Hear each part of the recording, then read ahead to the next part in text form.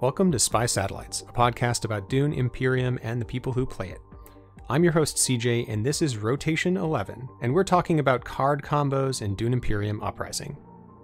So join us, why don't you, for a roundtable discussion focusing on cards, combos, atomics, and everything spice.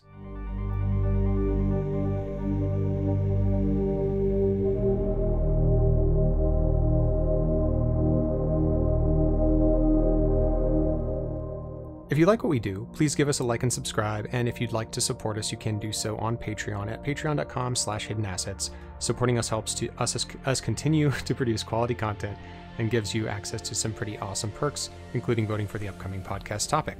So tell your friends and let us know how we're doing. We're always trying to improve the quality of our content, and we can't do it without you, the listener. Tonight, I'm joined by the duo from Consules a YouTube channel focused on Dune Imperium Uprising content and strategy. The link to their channel will be below in the description. So let me introduce you to Dino, Dinosaur 11, welcome. Hello, hello, hello. And also with us is Che Guevara, or used to be known as Airman, or sometimes is known as Airman. What do you go by now? I, I will go by Che for now, but yeah, I'm Airman on TTS. Well, I got to say, guys, it was a blast playing games with you at the North Carolina Invitational. I had such a good time. I hope it was a memorable experience for both of you. And um, it's also great to have you on the podcast finally. Thank you. Uh, thank, thank you. you. for having us.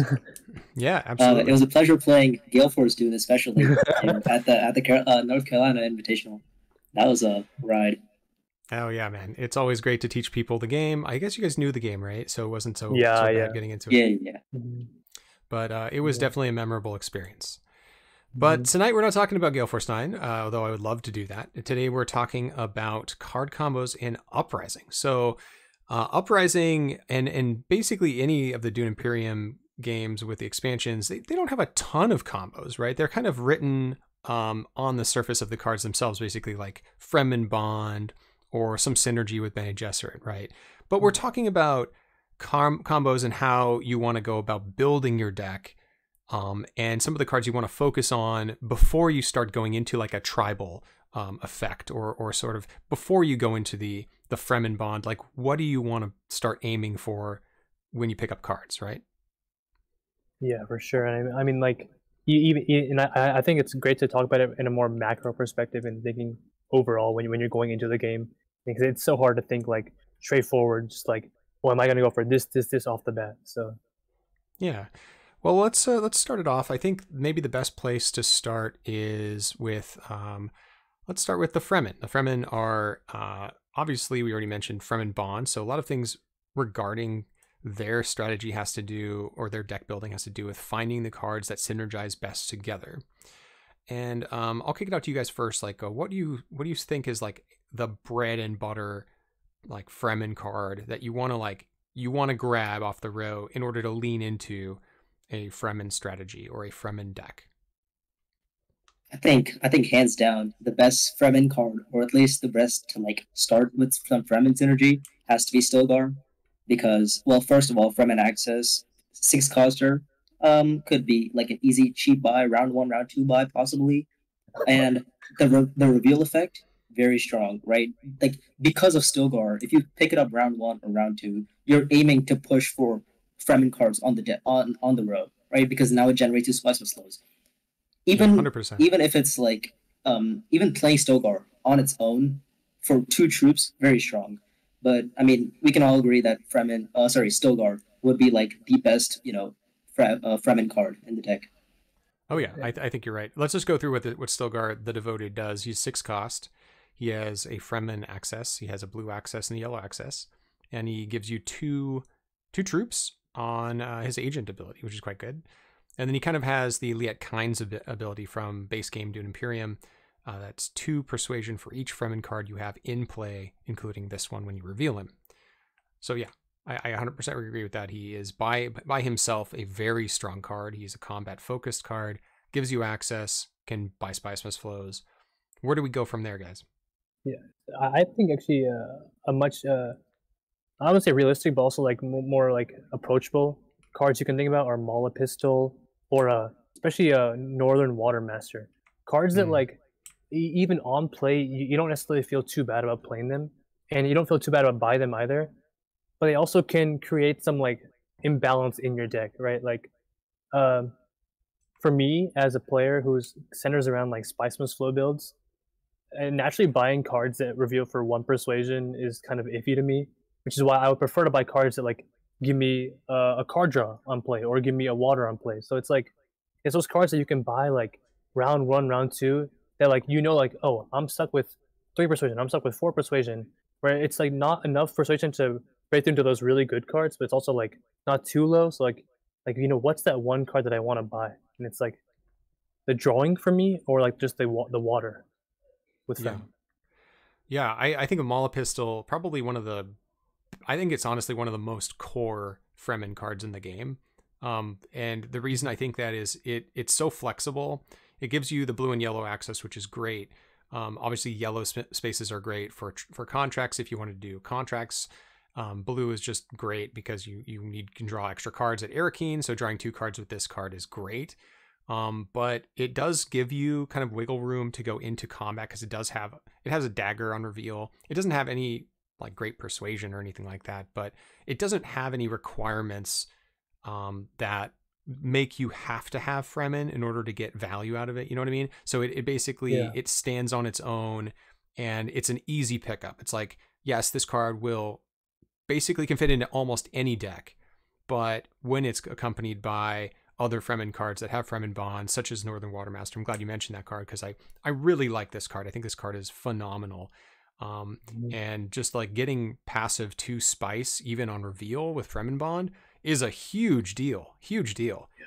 Sometimes it can be a really difficult thing to catch up in Spice if you miss the three water uh, deep desert, right? And this yeah. kind of lets you cut back into that that queue of Heighliner and and get in there and, and really go for it. So yeah, those are really great cards.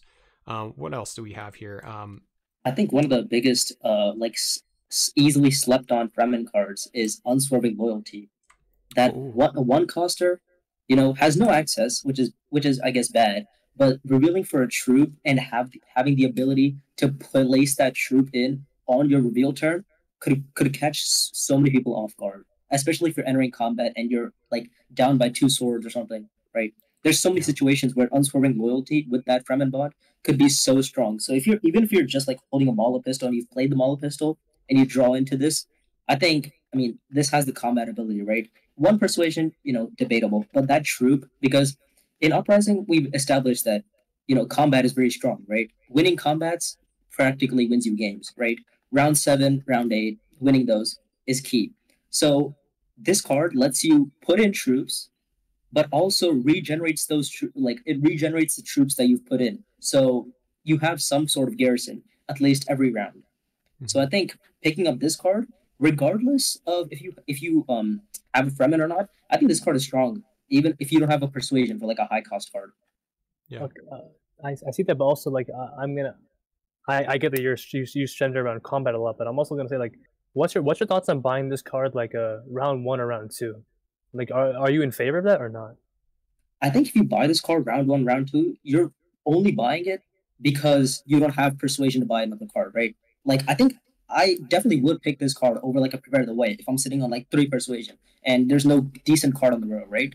Um, also, once I have bought this card, you have to realize that since this has no access, you're probably gonna have to end up trashing one of your convincings or like a or some sort of like, or you'd have to replace one of your convincings with like a prepare the way or some some mm-hmm. format of get rid of convincings because you don't want to be stuck in a hand where you have double convincings, double dune, and this. Yeah. So you'd have to you know get rid of one of your non-access cards so that at least yeah. you can play this in your hand.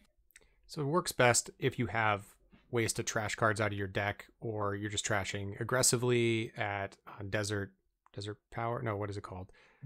Desert, desert survival, tactics. desert tactics, desert tactics. Excuse me. Yeah. And uh, or if you have cards like Maula Pistol that'll draw through your deck faster, or if you're just Muad'Dib who has a really good ring that can help you find those cards faster. Um, so yeah, I mean that that definitely works. If you're playing someone who's more passive at like if you're playing the Emperor, you might not want this card in your deck. Yeah. I, have not played a, yeah, a Fremen tribal deck much with him, though I, I have done it a couple occasionally.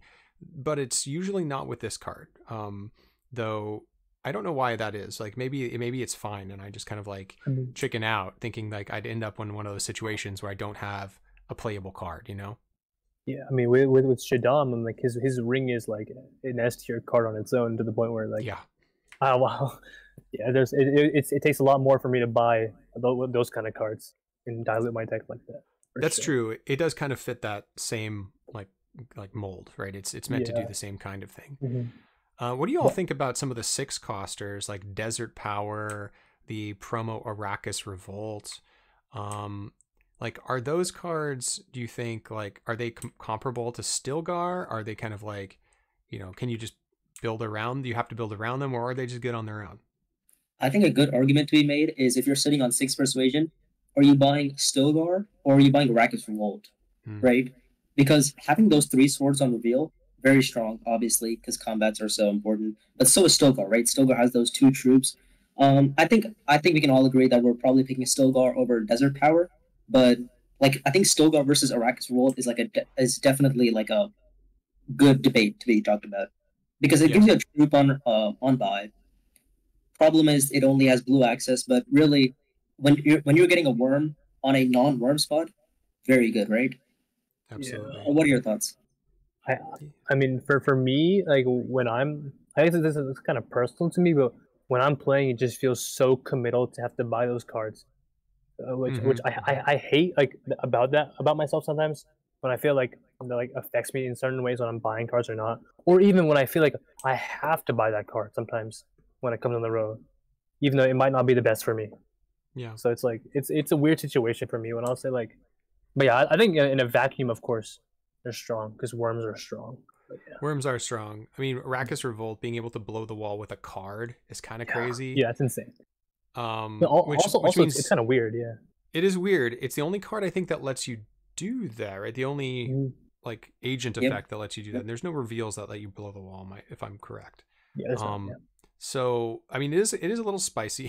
spicy. It's a little bit expensive with two spice as its cost, and you have to have hooks, of course. So it's not it's not impossible that you'd buy this and then get in a situation where you don't have hooks or don't have the spice to pay for it. But most of the time, I mean, you're you're going to be playing this round seven, hoping to get a worm into combat when you've been locked out of it, and hopefully win the game that way. But this card, I think it stands on its own, kind of like Stilgar. They're very similar to me Mhm. in their roles. They're both combat cards. If you get both of them, like, geez, man, I Oh, mean, yeah, that's you're in good. I think that's just GG's at that point, right? that, that- that's like the perfect scenario, like of every scenario. yeah. Would my you God, build yeah. around Arrakis Revolt though, or would you just like just pick it up and move on to some other strategy? I don't think it's. I don't think you can build around Arrakis Revolt. Like it's not a card that's meant to be built around, other than by like simply No. trashing your deck so you see this card every round. But like, Wait, I think you can play a sword deck, right? I mean, I guess a sword deck, but like even if you're playing a spice must flow deck and you see this card and you're just like, oh, I'm gonna go in one heavy on one combat and One I'm just gonna battle like ram this card in, put a worm in, and win that combat, right? Because that's what that's what most spice must flow players do, right? They you know just So sit around for a while, uh, you know, sit around by spice must flows, and then are like one combat. This is my combat. It matches for me. Call it a day, and then I'm gonna go back to spice must flows. So this card works with good in any deck. Like if you see this, I think it's a definitely pick up.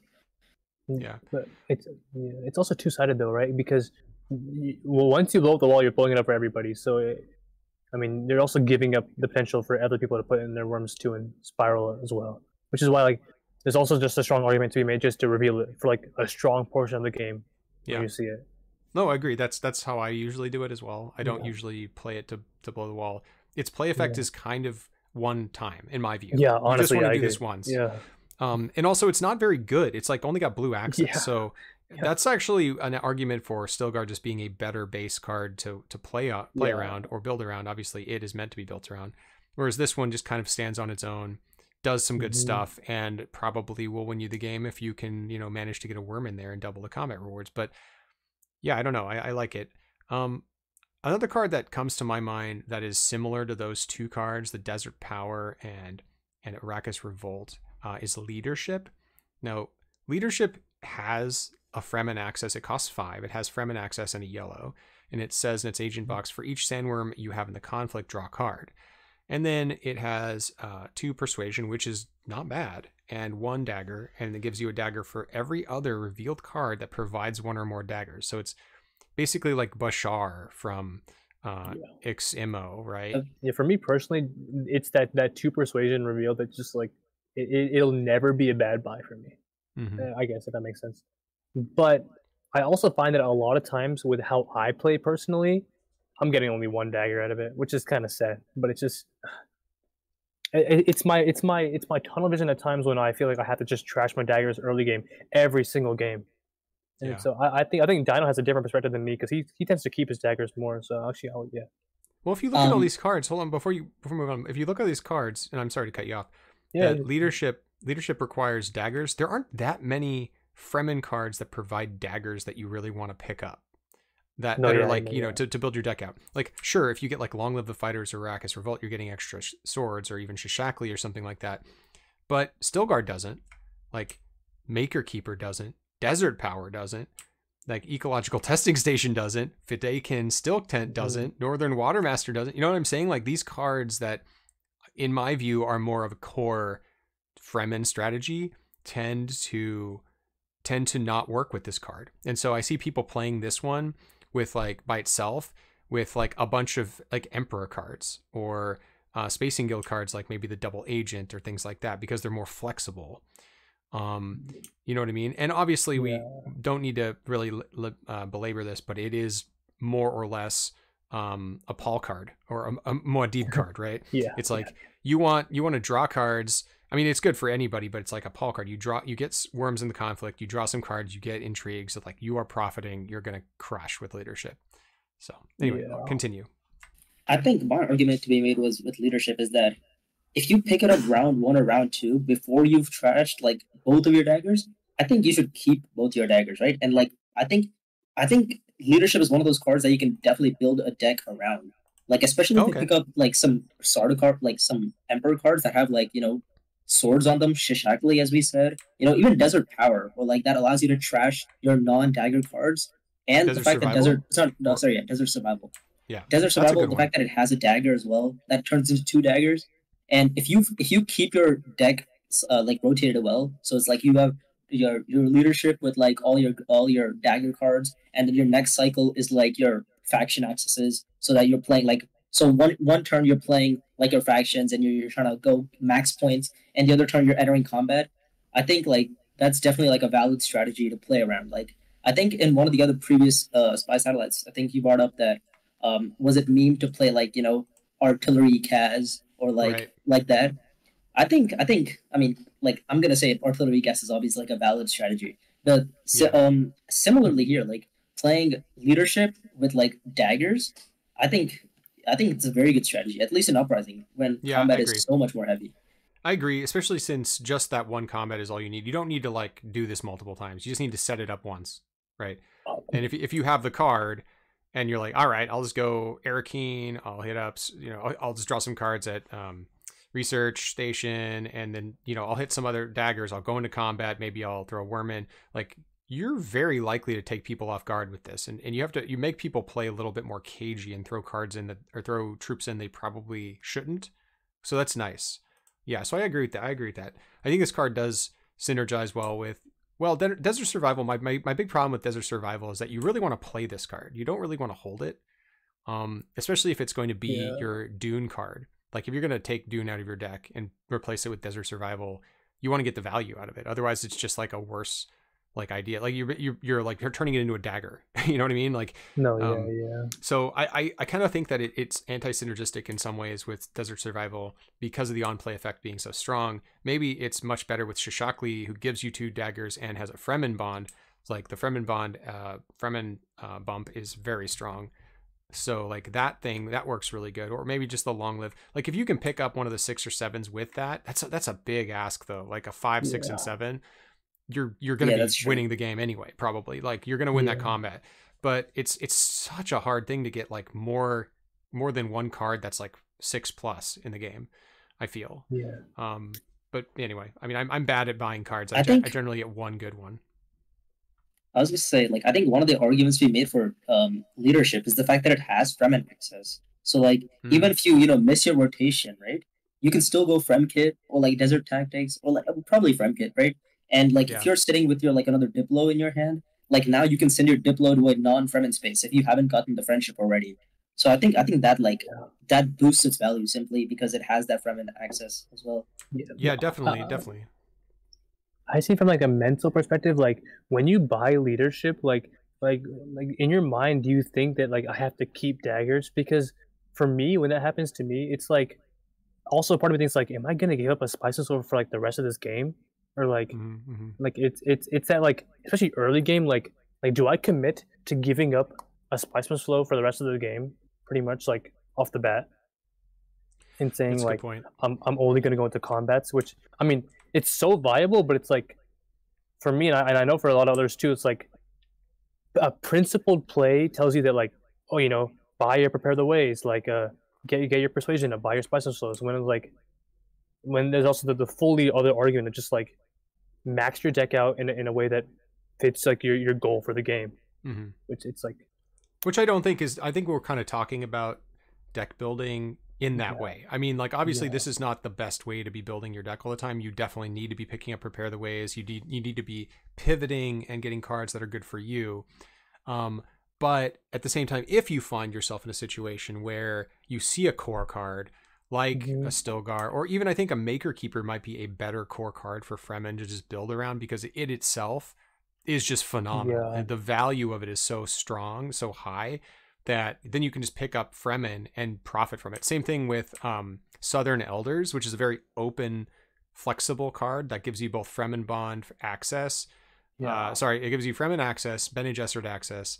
It has synergy with Bene Gesserit and has synergy with Fremen. So, like, I like that. I think that card might be one of my favorite. Like, I want to build a tribal deck, but I'm not sure which way to go. Cards. yeah it's great. Um, it's a really good card. Yeah.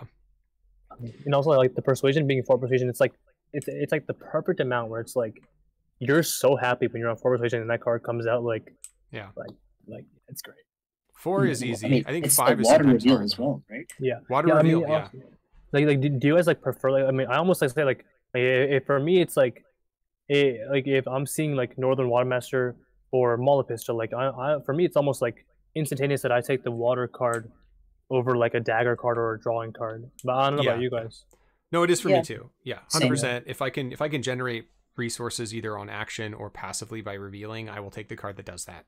Hundred percent of the time. I still think, yeah, Northern Watermaster, really, really strong card. yeah I mean Um, just it does everything. It gets you spice, gets you water. Um, you know, if you can't play it, you just hope you get another Fremen card. I mean, then you pick up Unswerving Loyalty, you get two spice, and you throw in a troop. It's like what value, you know?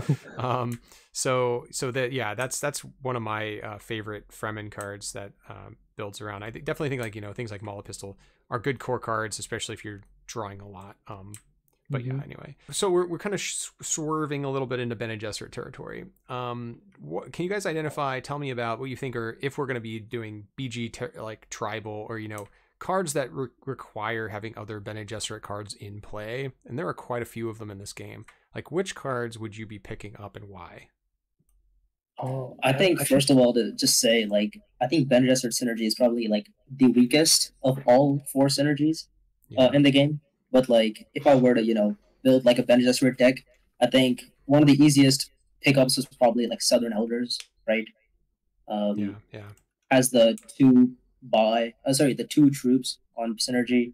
Um, another one is probably like in high places, right? I mean that's obviously like a high demand card, right? But if you're sit if you're with it and you don't have the two spies, playing that card for another spy, as long as you have a Bene Gesserit synergy, right? If you have another prepare the way, and then you play this card, um, I like the value is pretty good there. Yeah, it's pretty good. I mean, it gives you access, so you can do a two like uh, espionage, get two spies, draw two cards. That's not bad. That's not bad. Yeah, I mean, are there many other like Bene Gesserit like synergized cards in here? Like, I there's mean, no like tread, tread in darkness, which is a four cost. It has green, blue, and yellow, and its agent abilities. If you have another Bene Gesserit card in play, trash a card and draw a card. I, I find this card like interesting, but never great. Like I think Yeah, it's- fine. I, I, Um, th- I think if it had Bene Gesserit access, it'd be like yeah. amazing. But but like it just the lack of faction access in that card just makes it so unappealing to me. I agree. Um, and since most of the time you're going to be picking up like a, a prepare the way instead of you would probably pick up a prepare the way anyway. It's mostly the same card, but you don't have to spend the extra persuasion. You get two prepare the ways instead of one tread in darkness. Um, I've seen people like get value with tread in darkness, like actually getting two tread in darkness and go tread in darkness into tread in darkness, which seems kind of like a waste of your time because Yeah. yeah, I mean, you're not getting one access. You don't have Fremen access or Bene Gesserit access or Emperor access or anything like that. So you're just benefiting from like a late game ability because you need to have all this stuff align in your hand. So it's probably going to happen like round five, six, or seven. So it's in my, in my Mhm. view, view, it's like a late game kind of effect. Um, but you're doing it in a, in a with a card that like you're probably going to be better off just revealing it for two persuasion anyway. Like what, what are you exactly doing with this? You're trashing a card out of your deck and you're drawing a card that's going to get you maybe one, maybe two persuasion. So it kind of replaces itself. Ah, it's just such a weird card to Yeah, me. it, it feels so bad because like I think most of like the Be- Bene Gesserit synergies like center around like trying to get you spice must flows, which is Yeah. like you're you're playing the two persuasion card to like what draw another one. It's like right. it feels almost like like a like a net zero. And it's- it's Right. just- Yeah, so I think I- like in general, these cards fit best into a different strategy, which is a spice must flow strategy that encom- e- encompasses all the, a bunch of other uh, factions and a bunch of other cards, and just mostly the two costers, right? Things like yeah. Sardaukar coordination, right? Which is a 2 Mhm. persuasion card, but has Mhm. is very flexible, um, and gives you extra swords. It's kind of like a card that almost does everything. It's got it's got like access, deploys troops from Mhm. random places that usually can't deploy deploy troops from, and it Yeah, can buy yeah. spice must flows help you with that. So that card's very very strong and kind of works with these. Um, if you're just buying spice must flow, but I don't know if I'd I, if it, if tread shows up in the in the row, and let's say It's let's say there's it's going tread. unblocked for most of the game. yeah. It's it's yeah, it is. It is. And so I think that's very interesting to say like some of these cards that are BG cards that seem to be um like combo cards. They're really not. They Yeah. they really don't feel like combo or at least at this point. You know, maybe when we get like an expansion or if you're doing like a homebrew which has a bunch of different effects, it could be much better. Yeah. But I think in this case it's just a wasted kind of two persuasion dagger like most of the time and you'd be better off either just getting like a prepare the way and something else like i don't know like yeah, well, if- it's, it's funny because like in Ix and Imo, like the the Benny synergy was insane, it right? was Like insane yeah yeah, which I I I actually have a question to you guys. Have you guys ever used a, a weirding woman? Like, I don't think Yes. I've ever gotten it. Um, it's I've I've picked up the weirding woman. It was like it was a very niche scenario. It's like when you're sitting on like um what's it called like eight persuasion and you're Irulan, you pick up ring. So it's like your first action you play like prepare the way, and then you go like and then you play your ring and then you play to buy like a weirding woman, and then now you're sitting on nine persuasion, so that now you can play your weirding woman to a non like to a non draw space and then recall the weirding woman because you have a prepare the way. It's Yeah, so okay. niche. It's actually unreal. Like I think that's the only usable scenario for like weirding woman. I'm not saying like you know the so, like if you're Irulan, I guess you can completely start from you know start from scratch. You can just trash out like recon, trash out dunes, and then just sit with like two weirding women's in your hand because you know they could reveal and they have the access. That's yeah fair. that's But, that's like- okay i guess but the, the I thing mean, is like yeah. usually there's better things to be doing with your time yeah, right? i mean it's so it's it's like very i think it, you, you said it i mean that's not really a combo card so much as in a, a card you grab if you're Irulan and you need to have the specific opportunity to use it and Mm, bounce it back to your hand to get a spice must flow because what else are you doing with it really yeah. um Yeah. I, I just i find it so awkward I, I wish it said just return this card from play to your hand after you play it like what if you just Yeah, you could keep yeah. playing it that'd be cool like That'd be broken. what? no i don't, I don't know if it'd be broken i don't know if it'd be That card would broken It'd be pretty strong. It'd be pretty, pretty, pretty good for one persuasion. That's It'd be sure. very good for one persuasion, but then again, maybe we only have one in the deck instead of two. Yeah, don't yeah. Um, yeah. Anyway, I'd say like the best Bene Gesserit cards are the ones, and then the ones that create combos or that join combos are the ones that give you uh, spies, really. Yeah. And I think that that kind of leads into, and I, I'm, I'm sorry to like, you know, buy Bene Gesserit, but you really don't have a lot of combos besides Bene Gesserit Operative, which I think is, and you A might agree with me, card. one Yeah. one of the best cards in the game. And the thing with For Vengeance sure. Operative is that she doesn't. She plays into any deck. It doesn't matter if you're pl- if you could you could combat heavy and still play uh what's it called and still have Vengeance Operative because Absolutely. Yeah. you get spy it also it has uh, it has access, right? So that's Bene good. Gesserit And then having that access, spy, very strong as well. Yeah. Plus, it Hmm. also helps you buy spice must flows. I mean, for some reason, this Yeah. card gets you spies. It buys spice must flows late in the game if you have two or more spies on the board, which with this card is not hard. Yeah, it does yeah, the yeah. thing that gets you the reveal effect. Like it, it's very very good. Um, and it's three cost, so it's cheaper than Branching Path or Tread. No, it's the same as Branching Path. But it's, yeah, Branching cheaper Path I think, is a good card. yeah, Branching Path is a fine card, but it, it's it's fine on its own. I think. I don't think it has any sort of synergies with any of these other cards. But um, Tread in Darkness, you know, like just gets laughed in the face like, Yeah, by this other yeah, I'm, card. I'm like never. I'm never gonna buy Tread in Darkness over BGO. yeah.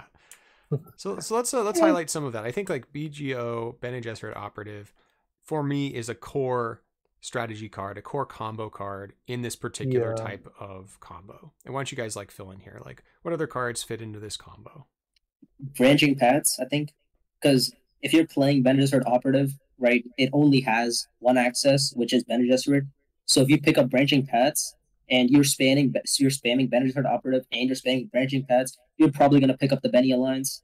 And Yeah. that effect of branching paths when you trash an intrigue to draw an intrigue, but also gain two spice. I mean, like insane ability, right? You could get rid of leverage for all you oh, know absolutely. and Yeah, then you know you end up drawing like unexpected allies. Who knows? But you also that's get two fair. spice off of it. So I think that's one of like the core cards. If you pick up Bene Gesserit Operative, like you should play for this as well. Yeah. I mean, definitely branching path. You could get the alliance with other cards too. It doesn't necessarily have to be BGO, but like the branching path is the effect is very good if you can get that alliance, right? I mean, that's that's worth playing for for sure. Yeah, Um, like but as you were saying, you know, like what core combos are you playing for Bene Gesserit Operative? So it's like if you're playing BGO, you might as well pick this up. well, what's the best card you can get? What's the best card you can, you get BGO? What's the best card that you can get next? in high places for In sure. high places, yeah. high places, yeah. Yeah. In high places, which uh, yeah, obviously helps you buy Spice Must Flows easily, easily. Mhm. gives you a spy on its on on purchase, so it's a five coster. This card's one of my favorite cards in the game as well. Like I think that the Yeah. just the the mood of the image on it with the Emperor is back to you, and then uh, Irulan and um, uh, Margot Fenring. I think that's I think it's Irulan. Is that Margot or Actually, I don't know who that is. Mother Mohiam? Oh, maybe it's Mother Mohiam. It was Irulan and and um, and Mother Mohiam. I- It's hard to tell because this wasn't in the movie. So, um, yeah, I don't know what what scene that's from, but it's it's pretty cool cool image. Um, but uh, that and then I'm looking for Public Spectacle. I mean, Oh yeah. arguably one of the best cards in the game, right? Mhm. It's a four coster Emperor card, not a BG card, Emperor card, but has a spy icon. And if you recall the spy this turn, get a, a wild bump. And it has one persuasion for reveal, and it reveals for a spy. So, I mean, the BGO gets you the spies, the the public spectacle gets you the extra bumps, rinse repeat. Like this is just, I mean, it's it's a combo that's so obvious. like Yeah. it's just like this this is it's just good stuff always if you can find bgo and pick up public spectacle you're you're in the driver's seat you're going to be racing up those tracks there might not be anything people can do to Yeah. chase you down like that's it's hard to do I mean, I think Public Spectacle is good on its own, even without BGO, because of the fact Oh, that yeah. Public Spectacle reveals for a spy. I mean, it mm-hmm. feeds itself, right? I mean, that's yeah. a like very strong ability. But Oh, yeah. but with that being said, I think with BGO, Calculus of Power is one of those like I, I wouldn't say hidden gem because it's like I mean people agree that it's really good, but like just like the w- with with BGO, just like the amount of how much it like it propels your game forward with trashing, with going to other faction spots, with the spies you get from BGO, and because it reveals for two persuasion, like it, it's it's, Mhm. it's like a triple whammy of like goodness. yeah Yeah. yeah i think at the center of this uh spy strategy if or, or spy synergy decks is Bene Gesserit operative. It it, Oh, it yeah. spreads out into everything, right? It spreads out into the Fremen, right, where we can get the Rebel supplier, which is uh, on paper like kind of a, a card that you might not want to buy because it doesn't have any persuasion. It does reveal Mhm. for spice though, which is awesome.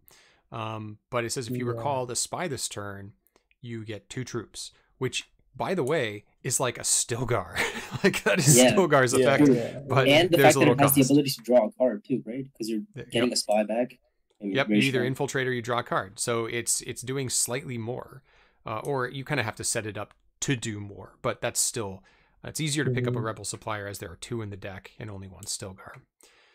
But yeah, Mm. so we have that synergy. We have the Bene Gesserit operative. We have P- Public Spectacle Rebel Supplier synergy. We have Strike. Fleet, which is one of the most like insane cards. Will win you games if you buy it early, kind of cards. Um, And the fact five, that it's five persuasion is two is insane, right? five persuasion Yeah. gives you a spy, and and Yeah, so it it's like- basically powers itself once. Um, I'm looking straight and I'm also seeing uh, dangerous uh, rhetoric as well, which means it's one of those cards that you gotta buy if you see it. Dangerous rhetoric. Tell us about it. I mean, just okay. P- p- people say okay, okay, it trashes, but it gives you the potential to get a double bump in a faction, which, um, in uprising. I mean, first of all, the, the card itself is like it, it goes to a green, a Landsraad spot or a spy spot, and it gives you a uh, faction bump on play, and it trashes itself on play. So I mean, Yeah. Um, off It's a, the pa- bat, it's like a power imag- play. It's like yeah, a power yeah, play. Yeah, which is insane in uprising, right? Because like, other than other than a public spectacle, there's like it's kind of in like a I guess overthrow if you have overthrow. It's kind of hard to get these double bumps in. It is. So I mean, we can't really talk about the spy strategy without talking about guild spy, right? I mean, all right, yeah, that's That's right. yeah. I think I think that's that's like a gem that we Yeah, haven't talked about yet. yeah, yeah. I mean that, that's like I mean, this the spacing synergy in this deck is just like, all right, like let's. I mean, It, it, it, it, it- it's like Bene the, Gesserit uh, operative, right? If you get Bene Hundred- Gesserit operative in like round one, or like you know, and then you play it round two, round three, and then now you have two spies, one on espionage and one on like uh spacing. Like Mhm. now you're just sitting on like what two spies, and the fact that this Bene Gesserit operative allows you to you know, uh, get three persuasion, and then along with guild spy, if you had that, that's five persuasion on its own. yeah. Like you go high council, that's seven, and now you're just if you can just keep printing spice slows, you're also getting faction bumps. I mean, right? Uh, Yeah. Guild Guild Spy one of like the best cards in the game for spy Yeah. synergy. low key shameless plug, but like in in, in uh, uh, Dinosaur posted a, a video where he got a round six win with the With Guild Spy. Yeah, I did watch. Oh, that that's video. true. Yeah, it was it was a Jessica too, which is It- like, yeah, the- it's just like, I mean that that card's like a powerhouse on its own. You can't. Yeah, it's like That was a mad crazy Jessica game. You Yeah. had, you had honestly, where you like drew four four- cards or something with her Yeah. like flip ability, and then you doubled the um the espionage effect. Like, holy crap! Like you were sitting on your entire deck that round with Guild Spy in hand. I was like, wow, that that's how you do it. Yeah. Uh, that's how, I mean, that's, how you play only- that's the Jessica. That's, that's the only way to do it. That, the problem with Jessica is that she that's like that's her one trick. It's just like oh, you, you go guild spy, you go espionage, round one, round two, double rewards, call it a day. Now you're sitting on two spies, and nobody can stop you because you're probably never removing those spies. Yep. No, that's great. Very strong. Yeah, Yeah. Guild Spy, very, very strong card um, in the spy strategy. Getting it by itself is still okay, but it itself, I think, it's that's a build around almost card. You really just want to Oh, yeah, for grab as many Yeah, yeah. spy cards as possible um, and go to espionage as soon as possible once you get that. But if you Mhm. can, it's gonna be hard for people to chase you up those tracks, man. I mean, yeah. unless I mean, they just the cut you off. The crazy part is like the fact that you get a spy on buy. Like Yeah. the pack, it powers itself on the on the like the second that you buy it. That's Yeah. that's actually insane too, and just for three cost.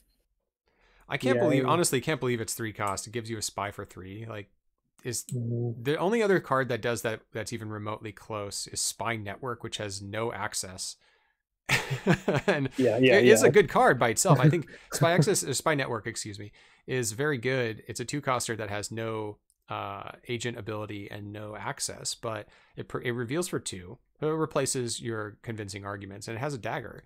And it says if you have two or more spies on the board, you can recall a spy to get an intrigue card. So another synergistic card with Bene Bene Gesserit Operative, um, and even Guild Spy. But like with Guild Spy, to be able to do this with three, and it'll like move you up tracks fast. Like when you buy Spice Flows, that's it's almost like compounding the Yeah. the the effects. Like you get a point here, and you're gonna get a point here, and you're gonna get a point here. It's like, come on, that's so much. Yeah, Um, I don't crazy. think I don't think the spy network like I don't I don't think the reveal effect is like what you should be highlighting. I think it's the fact that it has two tags. You know, it Oh, has that's true. temper That's true, and too. spacing, right? Like there's so many spacing cards. Like obviously we'll get into spacing soon, but like there's so many spacing cards that just you know are like oh discard a card. But if you discard a spacing build card, now you can draw two cards, or like you can draw another card, or you can draw an intrigue because you know Guild Spy has that action ability too, right? Like, like honestly, the action ability is very good, strong on its own, right?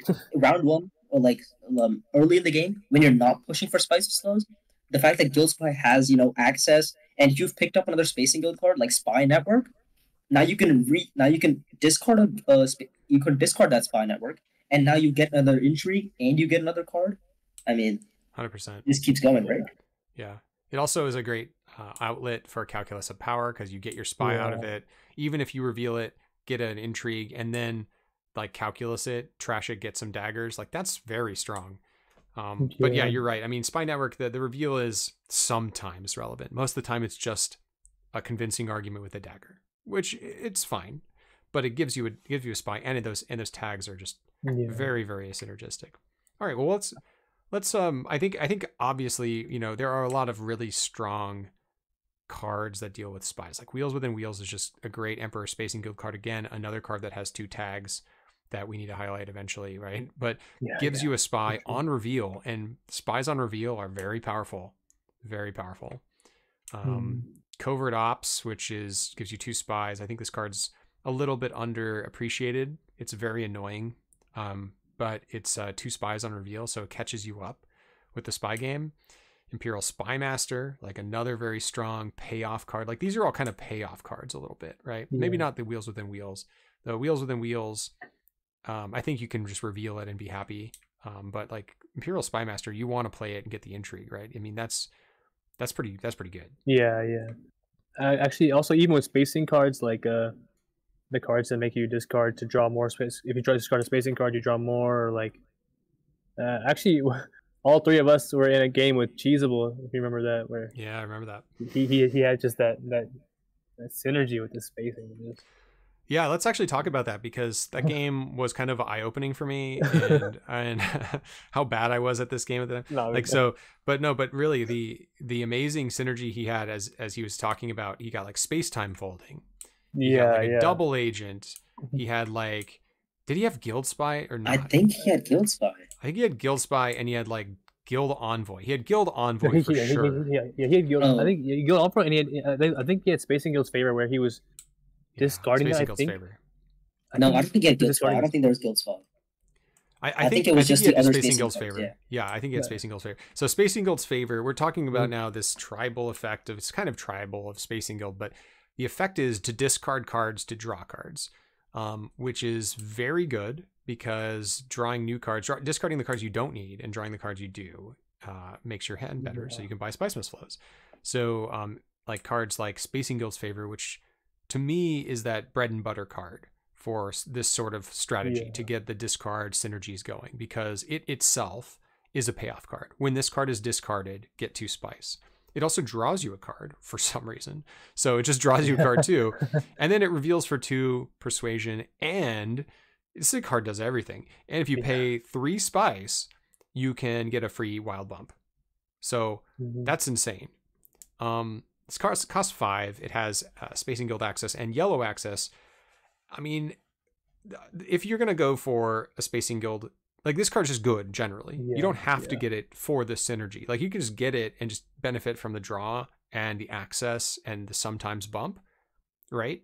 Mhm. And the persuasion. It's not a choose either. It's a two persuasion and, which is a little nuts, I think. But if you get that and you get Guild Envoy, Guild Envoy being basically a better um, version of um, your diplomacy, and it like, makes you discard a card. And if you discarded a Spacing Guild card, you draw two. Then Mhm. you're singing. Then you're humming, and that's that's what Cheesable did in that game, right? Yeah. Um, and, and it's, it's just in that game he, he got well let's admit it he, got- he got pretty good draws again and again and again That's true. with, with with that combo but yeah i mean it was it, it just yeah it was so good it was so so good. Um, yeah, so if you're looking for that kind of synergy, Spacing Guild's favor first, I'd say. Even though I'd say like picking up a Guild Envoy is fine. Like yeah I'd probably do it because of the access. It's just a flexible card. Um, and then if you buy a Spice Must Flow, you can discard the Spice Must Flow to draw two cards. yeah yeah that, Like- that, that's, a, that's that's like the best feeling i think I think that. yeah, I think that's like one of the best things that you know they've done in, done with Uprising is the fact that they've labeled Spice Must Flow as a spacing guild card. Yeah. I think that's like one of the best you know yeah, yeah. improvements to the game. I agree. because now the spacing guild synergy is so real, right? yeah, I 100% And agree also, with one of the easy things to pick up early on, I think, is just like space time folding, right? I mean, to it has the yeah. ability to discard a card to draw a card. Uh, if you get that with spacing guild's favor, obviously now you're sitting with two spice, but you also get double draw. Um, I mean, I think I think spacing guild's favor, like, I think on its own could be good, but like Mhm. definitely very heavy with the spacing guild synergy. Yeah, Yeah. absolutely. Space time folding is interesting too. There's just one in the deck, and it costs one persuasion. It has guild access, which is kind of insane. Yeah, like yeah, it's yeah. it's like one of the lowest cost cards in the game with access, right? I don't think there's any other card Yeah, I think, one it's cost. it's, only it's one. low. It's the lowest, yeah, for sure. There's only one in the Oh. game, but you know you're going to be wanting to you want to build a spacing guild deck if you get space space time folding. Yeah. Though it's just sometimes just good to discard a card to draw a card. Like that's fine. Mhm. Cycling out a bad card from your hand, like oh I've got the stupid Dune. I hope I draw my convincing to buy a Spice Must Flow or Mm-hmm. whatever, or my Stilgar. Like it's just a good card to cycle through your deck. I think that's it. Might be like a, a first turn pick. I'd pick up space space time folding, and anything Mm. else I could find. Um, maybe over some other like very strong single cards. Honestly, I mean, it's a very, very, very strong Erlon card. I think. I mean, Yeah, like you pick it up, Oh. you know, round one, and now you just go to deliver supplies with it. Because I mean, now you just have it in your hand. Very strong. very strong, yeah. Yeah. I'm picking it over any non-access card for sure. I think, yeah. Yeah, that's Yeah. true. Yeah. We also have a couple of other interesting cards that work with this discard synergy. There's Captured Mentat, which I also think is just by itself a very, very good card. Uh, it's five costs, gives you green and yellow, and its agent ability is discard a card in order to get an intrigue card and draw a card. That that for me is where this card shines. Is just getting the free intrigue card. Um, the intrigue is access. great. Yeah. Yeah, and you and you're going to be cycling through your deck faster. Drawing cards, in my opinion, is one of the strongest things you can do in Uprising because it finds you your combo pieces faster, It finds your your Stilgars or your your um, uh, strike fleets or whatever you need to do. It also has a weird reveal, which I think is a, is sometimes it's a it's a it's a very good reveal, but it's also a little bit goofy sometimes. It's like one persuasion, and you can go down with a faction and up with a faction and I've seen people do this with um, Irulan and um, Margot, and just go up and down with their uh, trigger a level level two on their respective tracks, right? Like the Bene Gesserit track for Yeah, Margot and the Emperor track for Irulan, and you just get your bonus effect again. That's fine. But the real benefit of that card is when you can like go down a faction you're losing and go up a faction you can win. Like especially late Yeah. game and I've seen that happen a lot, and it's very strong. But um, this card by itself is just good and, and can be a nice build around, just like the Spacing Guild's favorite. Like, and if you get both of these cards, wow! Oh, I mean, that's yeah, that's yeah. powerful. Like captured Mentat, discarding Spacing Guild's favored, getting an intrigue, drawing a card. That feels good. like getting Yeah. two spice, very strong, very strong. So mm-hmm. yeah, I'd say those are probably the best two build arounds in my view for this kind of discard synergy stuff. If you were going to go for it, but Yeah, yeah, I think Din- Dino would agree with me when I say like intrigues are so, you know, on average, pretty good in uprising to the point where like, like I like if, I, if I'm going to like assembly hall, hell yeah, give me two intrigues. yeah, just like Or even, or even Mentat itself, right? Now you, now you Oh, can yeah. see an intrigue, and then if you don't like that intrigue, well, it's like, okay, well, I'm gonna get rid of it, it. and then Yeah. see another intrigue, right? And the fact that it draws you a card too, so now you're now you've gone to Mentat, you've returned yourself in action, and you've seen two intrigues and two draws. Yeah. I mean, yeah, very powerful, especially on that space. Um, Yeah. yeah. I mean, I think captured Mentat probably like a. I, I don't know. This is like a good question, but would y'all early reveal for captured Mentat? Is that like an early reveal kind of card? Ooh. Is there anything else good in the row? Um, Like if there's I average guess- cards in the row, then I probably would not. If it's the only card in the row and everything else is like desert survival, um maybe an Imperial Spy Master, maybe like a Sardaukar soldier, maybe I would, but you know there there's a lot of good cards in Uprising. There are a lot of good cards. It's it's there's less bad cards in Uprising than in base game and in Ixnay. that is true. Yeah. So I always feel like there's something good to buy no matter what. But I would buy this card for sure over many other cards, but I don't know if I'd early reveal for it. Um to me it feels like giving up an access an action in order to profit and maybe get like neutral on actions with it feels a little bit like I don't that doesn't something I want to do. Um but That's I mean if. I it comes around to me I'd probably I'd probably pick it up for sure. What do you guys Um, think? I can Um, see yeah, myself yeah. doing it. I can see myself early revealing for this card. Early, really? But- okay. I, I'm just Wow. like that kind of a guy. I'm just like like let's just send it and see if I can.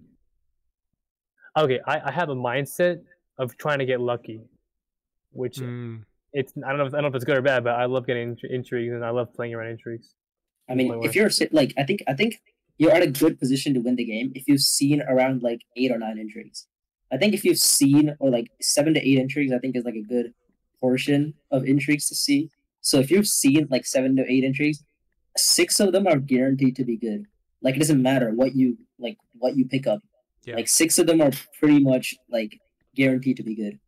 Uh, as in, like they could generate you spies, or they could, you know, uh, get like buy access or like the you know discarding for like one of the bumps, one Solari for one of the Yeah, bumps. yeah. Like six six of them are like guaranteed to be good. On like or like that's like the average luck, or to say based on like my little like analysis that I did. But Yeah. um, so if you see like if this captured Mentat, if you're seeing more intrigues, I think that just increases your chance to win the game, uh, in general. But I don't know if I'd give up an action just to see like one or two more intrigues.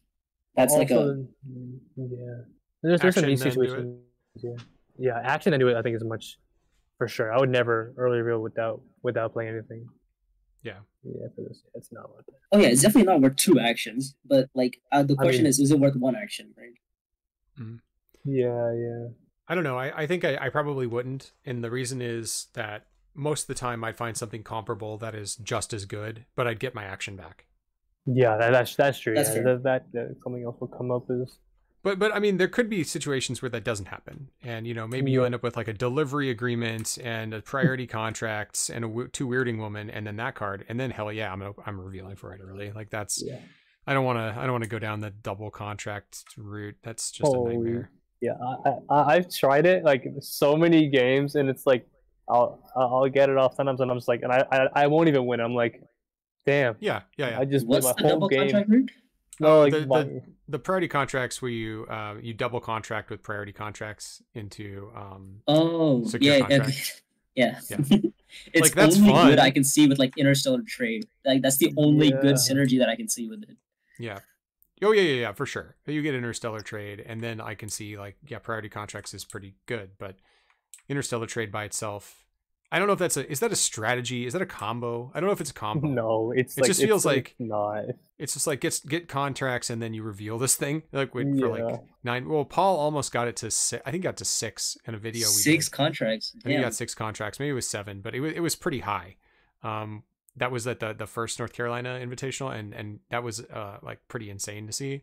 But I, I've seen some pretty cool Mhm. stuff with Interstellar Trade. It's just a very strong card on its own, and so yeah, obviously priority contracts Yeah. and those are good.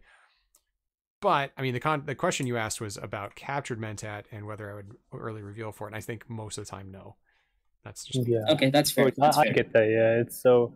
I mean, but but with that being said, would you early reveal for uh? Would you early reveal no actions for uh Ghost Spy? Guild Um, spy. Ooh, I I think it depends on what what leader I'm playing, right? Like Yeah, if if yeah. I'm playing if I'm playing like a Paul, if I'm playing Paul or like um sorry Muad'Dib or like Gurney or something, I don't think I don't think I pick up Guild spy like round one without get with, like without getting action, right? Because Yeah. their rings are kind of good, so it's like. I think I think the only leaders that will pick up like Guild Spy without an action is probably like Feyd and Jessica. I think those are like the Hmm. only two leaders that I can think of. Um, That's a good point. I don't know. I don't know. Let, let me let me see. Like, what other leaders could possibly be? I think for Jessica for sure because you can almost guarantee that you're going to be getting like you'll you'll be able to see it the turn you need it. Whereas like Yeah. I I- I think for Feyd, um, I guess I could see that because you're just going to be getting a lot of spies anyway. Yeah, maybe, but I don't know. Like giving up two actions, man. Yeah, That's- that that that that's that, rough. it, that, that makes You- me think so hard. you find you find yourself so far behind sometimes and I, I Mhm. don't know if guild spy will entirely catch you up like it depends on maybe if you're second position and you do it then your first Yeah. position your first to act next action but then you don't have any spice to go to hit um, um Espionage, espionage, yeah. and and then you feel bad you know what i mean like Ah, that's a tough one. I think maybe definitely like I would I would uh second action reveal for it if I'm first position Oh, yeah, yeah. 100% of the time. Like I think that card is just nuts. But you force people into situations where they have to or you're going to do it. And then then they're kind of behind. Like and, and if they get like if they're fourth position picking up rebels uh, not rebel guild spy then like you don't feel too bad because you're probably going to Yeah. outpace them anyway and you know other people kind of overcorrect sometimes against that card. Um Yeah. you know what I mean? So I mean, it, it can it can definitely be good and bad. I think it definitely depends. I think it depends. I don't I don't. Uh, one of the leaders that I mentioned to like I left out was Staban. I think Staban is definitely like a. oh yeah, I think if you're Staban, you double like I'm fine with giving up two actions for Guild Spy. I think Yeah, if Morphling get- would agree with this. I, I think he'd agree with it. Wouldn't I, you? I Sure. think I, I don't know. Maybe he definitely do it second action. I don't know if he'd open reveal for it, but like I could. I think I've seen I've seen people open reveal for Guild Spy with Staban, and I think done done very well. But I think it depends on what else is in the row too. Like if you can if you have like six persuasion, and you're picking up Yeah. Guild Spy and something else like decent, like maybe you're picking up like a double agent. Maybe then, or Or like a picking up- Guild Envoy. or Guild Oh. Envoy. Oh, yeah, that, good, that yeah. feels good. But if you're picking up just that, then your next Mhm. buy is going to be good, but your hand is going to be bad. Like you're going to have, you know what I mean? Like if you have three persuasion and then you have your ring Oh, Esteban, yeah, that feels bad because you your ring is so good, Esteban. You don't want to you don't want to miss playing your ring. That's true. Um, so I don't know. I think he probably he might say like maybe if you don't have your ring. That that's what I guess that Morphling would say. Morphling is our resident like master of um of Staban, by the way. Yeah, he's like he's the Staban master. Um, definitely the best Staban player I've ever ever played against. So, um, all right, all right. So so we've got that synergy. We're covering a lot of ground here. Honestly, there's so many things to talk about. Yeah. Um, let's let's briefly cover, and we're at we're at about an hour now. We're at 56 minutes, so let's uh Mhm. let's cover the uh, calculus of power combos and the the emperor combos that, that we kind of have it. We've kind of briefly touched on as the as parts of other combos, but how do they sort of fit if they're your first pickups? What cards do you pick up in emperor that are going to help like speak to an overall strategy of combo cards? Um, hands down Sardaukar coordination. I mean, I think that's a that's the obvious one, right?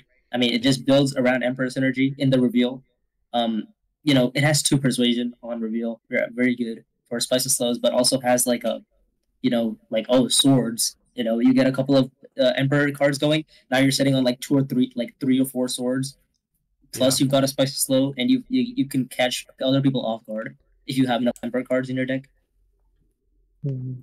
Yeah, I, I agree. I, I actually just love how like with the Emperor cards in Uprising, a lot of it is centered around like reveal effects, which is, it just feels so much easier and better to do. Like it's like like like from from like a mental perspective when I'm playing the game and I'm buying like like a um say a Sardaukar soldier with with the uh Imperial Spy Master or Calculus, like it just it feels so much better to me, like knowing that like I don't have to actively think about like oh, I'm on my last action. What happens if I draw into like like like an emperor card? When no, it's like it's on reveal for most of the time.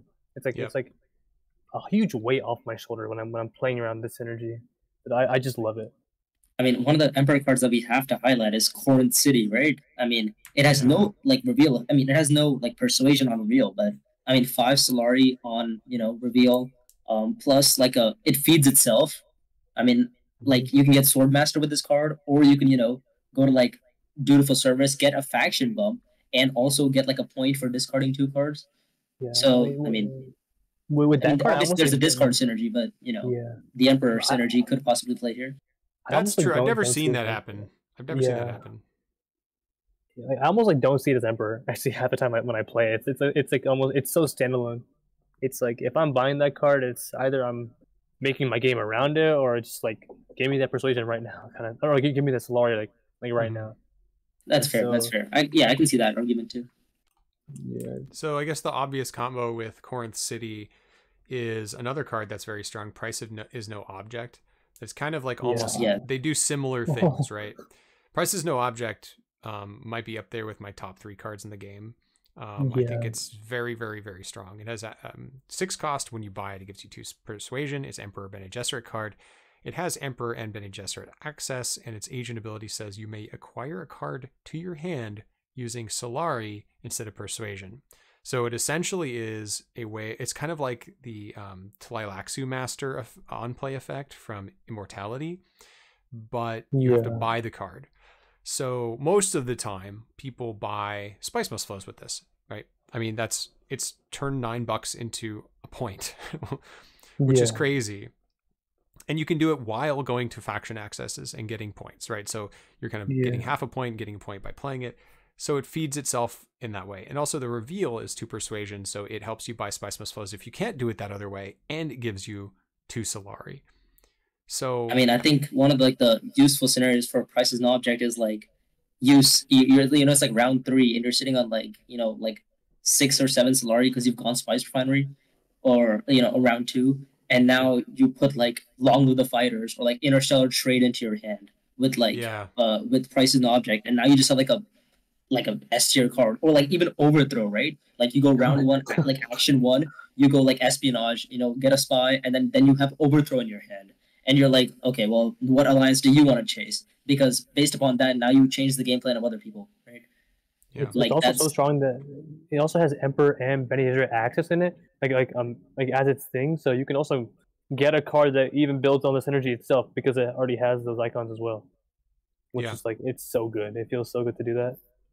That's a really good point. Because if if you are going to end up playing this card, you would like to have one or two things that combo with the Bene Gesserit tag, maybe like maybe just Yeah, a prepare the way, which is very well. That doesn't really matter that much, but I guess things like Tread in Darkness or I guess Southern Elders. There aren't that many yeah, yeah. I was gonna- combo I cards. gonna honestly. say- I, I- I think more Emperor. I, I think Emperor cards.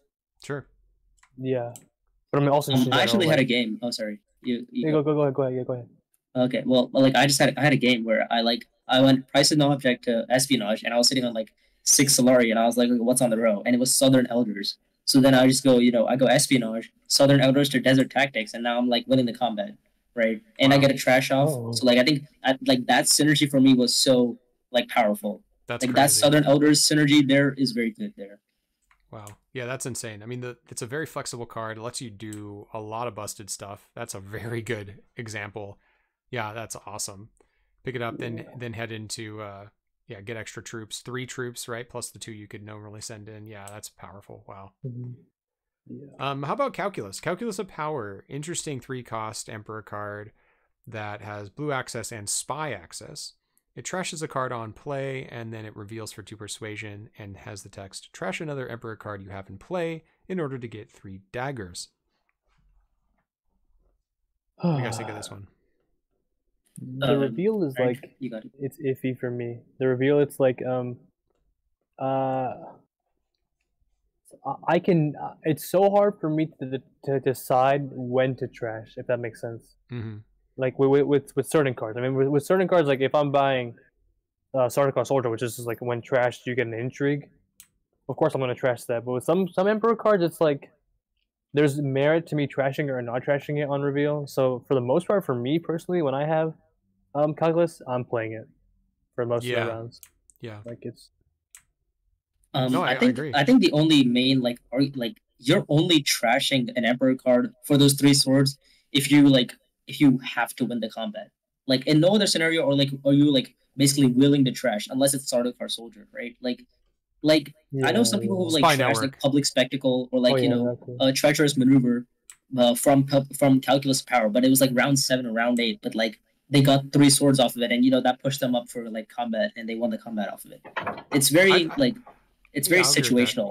Like it's you're not you're not usually just using calculus to you know instantly trash, right? Uh, instantly trash on reveal for the reveal effect. You're mainly playing calculus to you know go to a spy space, assuming that you you know have like a spy on one of the faction spaces, and then you get a trash off. That's your early game like ability for calculus. Late game, you know, the reveal could be useful if you have like an emperor.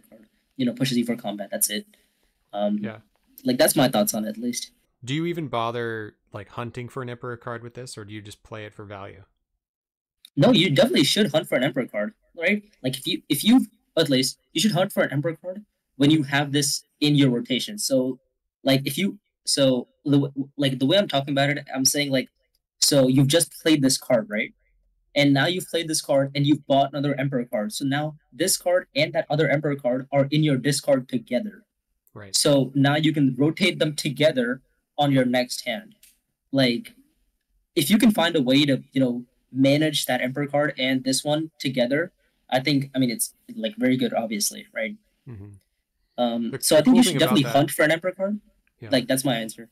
Yeah, the, the cool thing about it is you obviously get the effect on whatever card you trash first because of the way that cards resolve. You can choose the orders of taking their effects.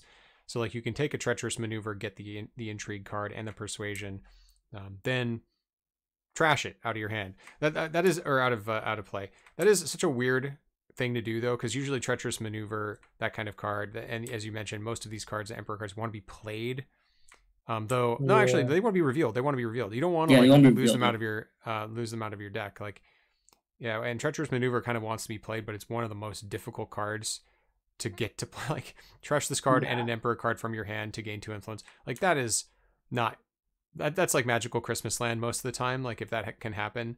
Um i don't see it being played for that i see it mostly used to just draw an intrigue like. Passively Or play Um, it as a diplomacy. Yeah. or played as diplomacy. It's just a diplomacy that sometimes passively gives you an intrigue and may one or may give you two persuasion or two influence, excuse me, uh, during the game, but probably won't. Mhm. Um, Yeah. yeah, but for me, like calculus, I, I just think of calculus just an all around great card. Like it's got blue access, which is nice. Um, but the spy access, if you have like BGO going or you're just you know buying some spy cards, this card is incredibly flexible. Um, and I think that the trashing cards out of play helps you find those other emperor cards that you might be hunting for or trying to, to get into the same hand. So it does kind of like work. It's it does its own work, kind of, um, Mhm. which Yeah. is nice. Agreed. Yeah. I think I for mean, me, one of like the one of the good Emperor cards I think we like haven't highlighted, or I mean, it's a Spacing Guild card too. Is undercover assets, right? Yeah. I mean, the fact that you, um, what's it called? You can ignore any argument, any any like influence requirements. Um, very good. But like tho- those two tags, it can work with the Spacing Guild like discard synergy, or it can work with like the Emperor reveal synergy, right? You can get those two swords, or you can get a spy, but you can also you know trash it with calculus power, maybe trash it with tre- treacherous maneuver, um, for uh like another another like bump or like another three swords for calculus. I think that one um it definitely stands out as an emperor card or like emperor like Spacing Guild card. Yeah. And that one that one actually works with a lot of synergies because it gives you that that spy on reveal. So works with all those cards that require you to recall like uh, rebel supplier as aforementioned or like even the leadership because it gives you two two daggers so it's going to give you three daggers with the leadership i don't know if i've ever i think i've seen that once or twice like but generally speaking like it's just a good all-around card um and that ignoring influence requirements gets you uh, ahead of the queue, right? I mean, this card is good. It's just it's just good, right? I Yeah, pick this yeah, card up in general just for its effect more than so for a synergy. But if I end up in a synergy of Emperor or Spacing Guild, I'm not sad, right? So Yeah. that's a nice thing about it. Yeah, good points. Good points. Um, yeah, we covered a lot. You know what? I, I forgot to mention we didn't talk about uh, Chani actually in the Oh, Fremen shit, deck. yeah. How did we forget Oh, about yeah. Chani? Um, so let's Oh. do that real quickly. It's kind of backtracking a little bit, but then we'll jump to maybe the last uh, word and then move on. But um, Yeah, yeah. Clever Tactician is five costs of Fremen, and uh, it has Fremen access blue and ye- and yellow. And its agent is if you have three or more units in the conflict, get an intrigue card. Very very good. And its reveal is retreat two of your troops to get four daggers. So basically, your troops come back, but you stay at the same strength, which is very nice and is Fremen Yeah. bond to persuasion. What do you guys think of this one for a uh, tribal deck? Uh, I think Very it's like both. right? Yeah, it's so good. But also for me, what happens actually a lot of times when I get Chani is, uh, of course, I'll reveal her and I'll retreat. But I, I'll, so many times for some reason I don't get the persuasion off, the uh, the Oh, yeah. Bond persuasion. I, I, I, it's such like a, it's it's like it's. I know it's a good card. I, I never will regret buying it, but it's just like, like damn, like it's like should I have played it instead? Uh, Mhm. I don't know. It's You're mainly playing it if you have like the if you have two troops already or like one troop in and then you go like Fremkit and now you deploy two and then get another entry. yeah. I think that's like its main use, right? Or desert Mhm. tactics, right? Yeah. But like Mhm. it's because it, it's because it has the Fremen access that you're playing it, right? And mostly you're playing Yeah. Chani to a Fremen space, or I guess to like a worm space, you know, because then it's the Yeah, her yeah. ability reads units, so worms Yeah. are also considered units. So I and those are the only like usable Chani things. But like I think you should also be searching for Fremen, right? I mean, if you're playing Yeah, Chani, yeah. because of like the Fremen bond, two reveal, very good, and the reveal effect like strong on its own, right? Yeah, definitely. Yeah, I think Um, that is she like a list is she like a early reveal card? Probably not, but probably not? yeah. But I mean, I- like, I would definitely you should probably, pick her up if you see her. Yeah, I mean, I don't think I'd really reveal for her, but I would never. I'd never be sad not having like you know, if I got Mhm. Chani, I'd never be sad with her. Like she's always useful. Any card with access in this game, I think, is like at a premium because of how few uh, cards actually feel like they have um, access. Like there's a lot of two ofs cards that don't have access, right? There's two unswerving loyalty, two desert survival. Um, you know, there's like two double agent, which is fine. There's smuggler's harvester, which are two ofs. You know, there's a lot of these like derpy cards that are fine, but don't give you access. But having like a five coster that gives you access to a particular thing just feels so much better. It- As you said earlier, frees up your diplomacy to go somewhere else. So that's a really, really important thing. Um, but yeah, I don't know. Um, I don't really see her as like the like. You definitely want to pick up Fremen, but I'm I don't know if I like go out of my way. Maybe this is a problem with me and, and building like Fremen, but I, for her, I just I'll just use her on her her play effect because I I value intrigues almost more than I value those like getting those troops out of the Mhm. combat. Um, unless I like you know have no other way to generate troops. Like generally like look for ways to generate troops as well. So Yeah. maybe that's maybe that's just a play pattern thing for me like any card that generates troops i, I generally like um that Fedaykin uh still tent love that card love love love that card it you know reveals for Oh. a water and gives you um a, a troop when you go to a maker space jeez man i mean that card is incredibly powerful when you throw in like two worms and and an extra you know two worms two troops and an extra troop that's that's powerful Mhm. um For, So- for for me, it's so hard to buy cards that don't have persuasion. Uh, it's like I think Yeah. that might be your problem there. yeah, I, I, I, it literally is, and I like I I like I'm I'm trying to like get past that, but it's like it, it, right, it's it feels like so hard for me to like know that like I'm giving up a potential point somewhere along the way. Like, Well, you just gotta like- think about like make sure you play those cards. Like I think those cards are generally gonna be Yeah. played. Or if you like have absolutely no way to to buy Spice Must Flow that round, then reveal it.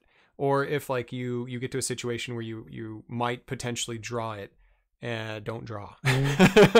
like and you don't want Mm-hmm. To you know then you have to just go like I have to go next round because it's not it's not in my hand. It's like one of two cards in my deck and if I draw it I'm not going to get my Spice Must Flow. Just don't take that risk, you know? Like or you know if you're in a tournament and you have a 50-50 shot maybe take the risk you know or something like that but i i don't know like i feel like i i agree i used to be like that too but i think that those cards playing those cards like beast spoils like Fedaykin, still tent Mhm. um even like even undercover asset undercover asset doesn't have any persuasion either i mean i probably wouldn't buy too many of these cards especially like rebel supplier doesn't either like that can hurt you in the long run but you have to have a backup plan right you have to have like i'm going Yeah. combat so I will augment my lack of getting Spice Must Flow by just winning more combats. Like if you're leaning into that, then you're hoping the table doesn't correct and and go after you, right?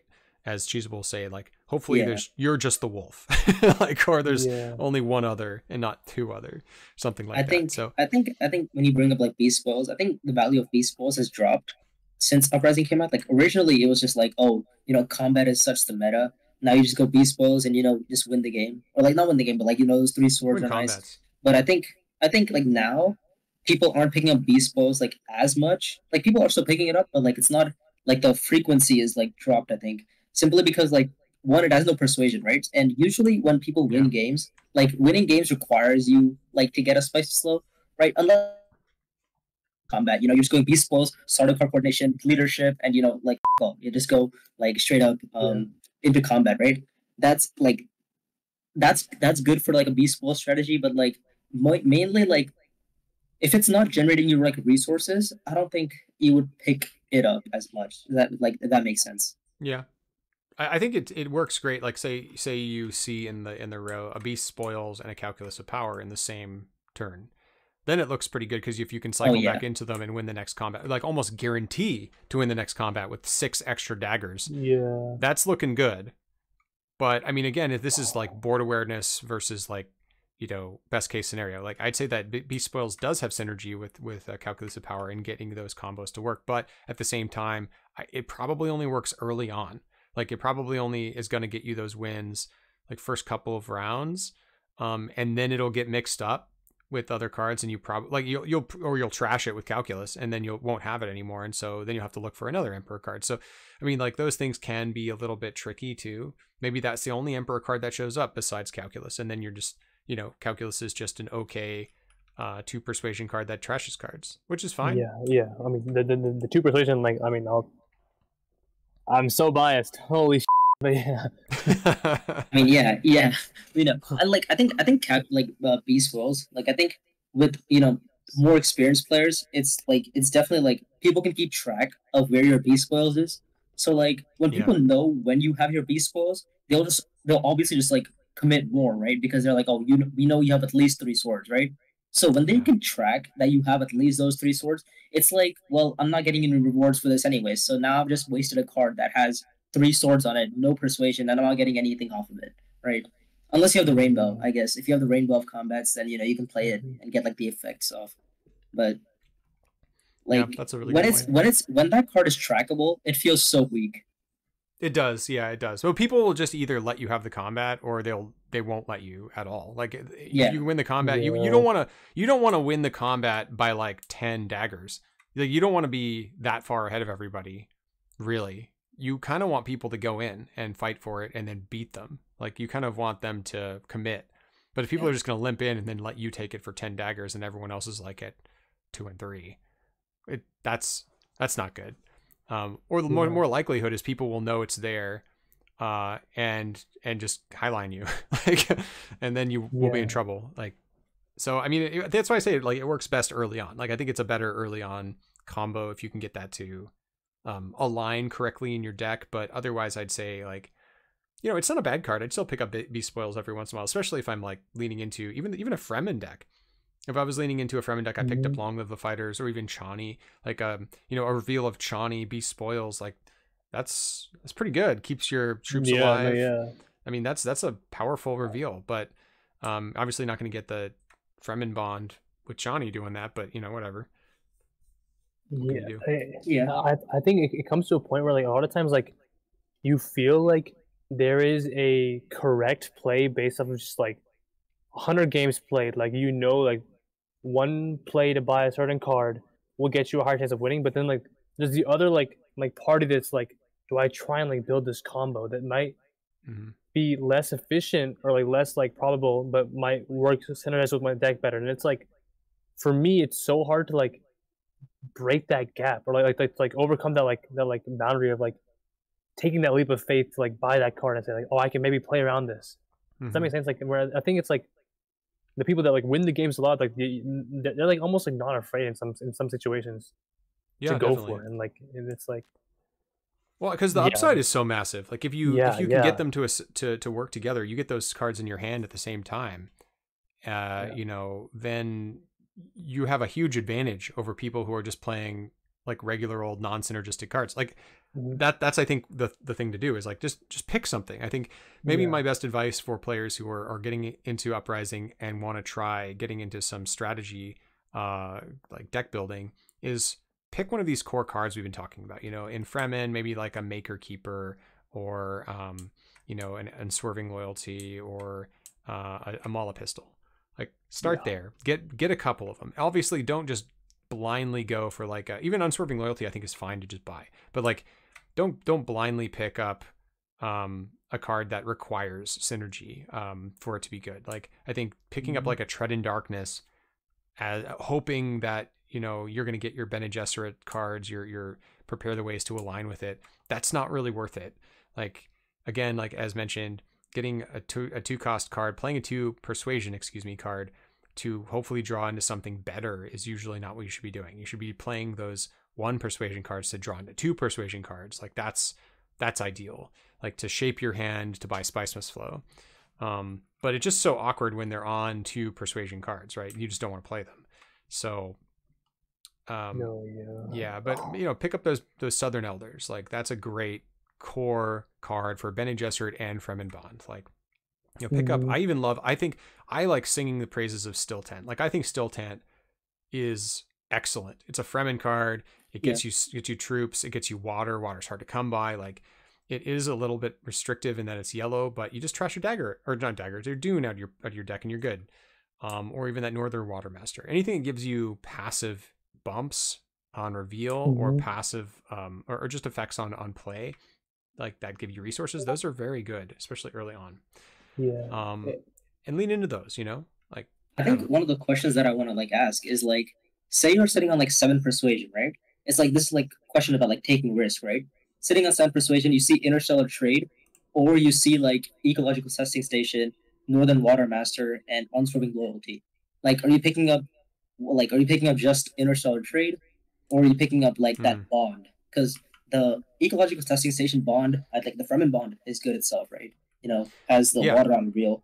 But you know, Northern Watermaster too, the Fremen bond reveal, and the fact that it plays for water. Like, are y'all are y'all more likely to pick up like a bond synergy or just like a you know straight up just like one co- one card interstellar trade call it a day that's that's a tough one so for me i would always pick up an interstellar trade over a combo just really? because okay. it's it's a very flexible card i think interstellar trade like one of the best cards in the game just lets you get bumps when you don't when you can't get bumps by going to tracks like it's basically a diplomacy but it goes elsewhere so it's slightly better in a lot of ways because most of the board spaces like that get you solari um, and spice and worms and those things, you don't usually get the chance to go to get bumps. So it's flexible in how it lets you kind of fix your your influence problems. Um, I love Interstellar Trade. I usually don't get it because someone else beats me to it, but I would pick that one up over a combo unless like I mean, if I had 7 persuasion I would. If I just didn't, I wouldn't go for it. I don't think I would go for interstellar tra- yeah. interstellar trade. I think I'd try to settle on like, you know, a Northern Watermaster, um, ecological testing station. Like I'd go for a six. I, I think I'd go for a combo two cards, or maybe even a combo like a, a, a five cost combo. You know, like um, a mm-hmm. Maker Keeper Water water master, and just start trying to find some more Fremen. Because even having those two in your in your deck means you're probably going to get two spice. Probably you're going to yeah. get a ton of water I mean, Maker Keeper gets you what you need. Um, if you get those those that, that influence eventually, you will most likely. Um, mm-hmm. Or even the ecological testing station is, is a great one because it gets you the extra influence for Fremen, and then the Maker Keeper will get you the, the spice. So I, I, might do that, but I don't know if I'd go out of my way to try to hit Interstellar Trade, especially if I had a good chance of of whiffing. Um, and then someone else like picks up the other cards for you know instead. So I might be a little bit mm-hmm. wary about doing that. Yeah. Uh, for but, me, it's it's yeah. so hard to like to like to like. Oh, and I think for a lot of people, like it's so hard to to visualize like the gain you can get from buying like three cards versus one. Yeah. And also just the increasing like, for like for a beginner getting into the game, to buy three cards, the amount of deck management that you have to do to keep it in play, it's hard. Oh, but like true. if you're good at it, and you can do it, and you can also like it's so hard. Like I'm just again to, to like to see the perceived benefits of buying three cards versus one because you're buying the cards that have supposed synergy together. So it's like yeah, uh, like if, if you view them all individually at their face value, of course they're gonna be weaker than than, than the seven coster. But like there's the other side that's like if you know you're doing and you can do it well, you know, and, and you can deny others from getting those cards, right? Because a key thing is that it's not easy to get seven persuasion in, in a round. So mm-hmm. you might be able to deny somebody else from getting water, water master, which I mean, hell yeah! Like I, I don't want someone else to get that that strong of a card, in my opinion, for that cheap. For that so cheap, yeah. It's it's the one thing the one the good thing about Fremen I would say is that it, it gives you the ability to like go to desert tactics and trash and you know keep your deck manageable, but like yeah, you know, like the deck can if you once your deck starts to get to like 13, 14 cards, 15 cards, like it's like you're grasping at it's like usually bad. Yeah. Yeah, like a, a nothing almost. It's tough. I'd say I'd say like 12 is where I start to go, "Well, I got to cut some things." Yeah, yeah. Like you really want to yeah. be able to keep your hand your next hand visible. Like you want to know what's coming up. Like if you have 10 cards mm-hmm. in your deck, I'd say like that's perfect. Sometimes people like having 9 so they can draw their whole deck, but I think like having 10 is perfect cuz you can like kind of cycle between those two hands yeah, and know yeah. what's coming. Um, but then again, I mean, it's not easy to do that. It's not easy to keep your deck at 10 cards and have mm-hmm. strong synergies and make that work without um, taking a bit of risks, as you said, like taking a bit of a, of a, of a gamble. Like I feel like good Yeah. about going into a Fremen uh, tribal if I pick up a Maula pistol, for instance, because it replaces Yeah. itself. Um, like, Yeah. and keeping in mind that Fremen Bond, you only have to have the card in, in play or in reveal. So it can be the Yeah. card, you know, the, the, the Maula pistol will trigger the Fremen Bond. So if I had like Shishakli and a Maula pistol, I feel pretty good, you know, that I can get the Shishakli Mhm. trigger. Um, Uh, I'm actually intrigued to think. Uh, do, do you prefer Maula pistol or Desert Survival, like in an early game situation? Maula pistol. Yeah. Ooh, really?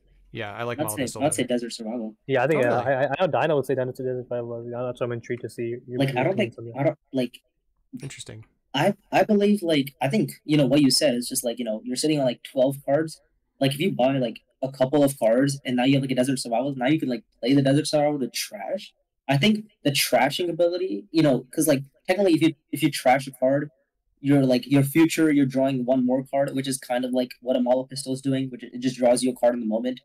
But I think Yeah. trashing is much stronger in uprising because now you're sitting at like a ten card deck, right? So if you have like another strong card in your deck I think waiting to draw it with Maula Pistol is so much harder than just like, oh, if you cut enough cards with, you know, Desert Survival, you just see Yeah. it practically every round. It's like guaranteed, right? So I, mean, I, like think- Desert Survival too. I, I like both those cards, No, but yeah, I, yeah. I prefer cards that draw me cards now versus cards that Yeah, will draw me cards later. And that that's that's just a preference thing. Like I think That's fair, getting yeah. getting a lot of trash is totally fine and getting not trash, but getting cards that trash are good. And uh, I think Desert Survival is a very good card. I think trashing cards is good. Yeah. I don't know if I'd have two of them in my deck, but I would definitely buy two Maula pistols if I saw one. If I like Yeah, yeah, cards that, okay. that draw into new cards that that help me find my combos in turns I really need them. I find more value in those. Um, but that's just me. I mean, like you know, I, I see the value in Desert Survival as well. So yeah. Yeah. no, I, I think if I remember, like I know Cheeseable like likes Maula pistol a lot. Uh, Yeah. Yeah, I think just like the Well, it's also the blue space, like because Yeah, because you can go to Arrakeen with it and draw two cards, and that's very good. Um, or you can get Mhm. you you can use it to go get some some Solari or um, like it. It's that card like the the real reason I think I, I like it a little bit better is because if I accidentally open hand draw like my my five and has like say Dune Dagger, convincing, uh, like uh, diplomacy, and then Desert Survival versus that same thing and Maula Pistol, I would be so much happier to have the blue Yeah. symbol. That's You know fair. I mean? That's fair. And and and I think like Mm, obviously you're gonna be trashing Dune out of your deck, but I've been in situations where I've like got all these yellow access cards and no blue, and I just can't get my my hooks.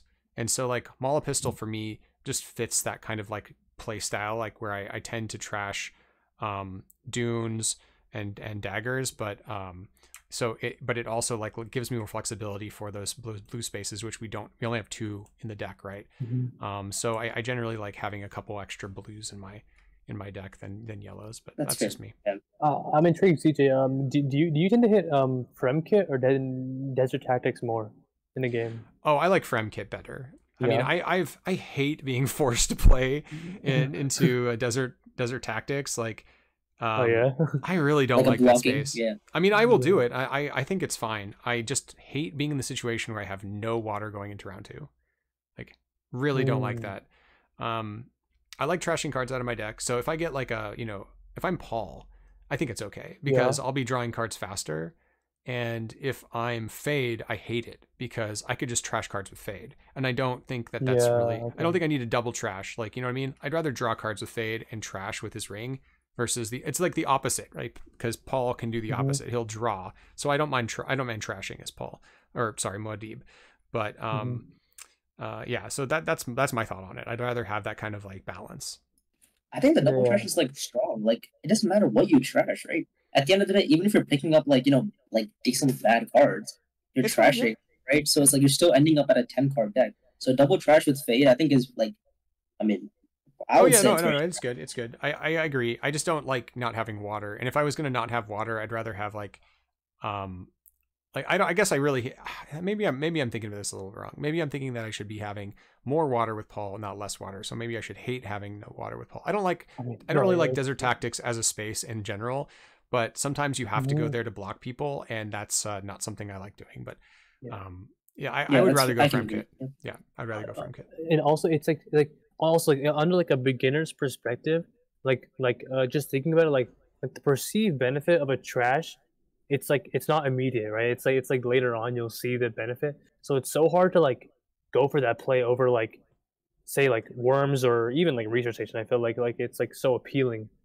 Mhm. Um, so I I think it's like one of those things that like I've come to appreciate more as I play the game. It's like oh wow that trash like early game can be so effective to help me Oh, like yeah. continue on. But it's like uh, I like especially initially for me when I was playing the game, like I felt like oh my god I'm giving up a worm for this. I'm giving up potential to draw two cards at research station for this. Like Mhm. it's it's tough, but yeah for for me i, I think I, it's just getting a trash is good but the definitely the value of that space goes down over time i think like Oh, round sure, one it's the most reasonable thing to do and every once in a Mhm. while um you know you might need to do it if you're like flush on water you might need Mhm. to do it just to get some combat uh, strength or you have chani or something like that right Mhm. like you might need it um i just just don't like that space as a value Mhm. space and i think that maybe cheeseable would probably agree that it's kind of a weak space um but um i don't know not, not Yeah. that he's like the authority on that space but I, I think that he, he did talk about it in his in his one of his uh, recent videos he talked about how it's just kind of a weak space so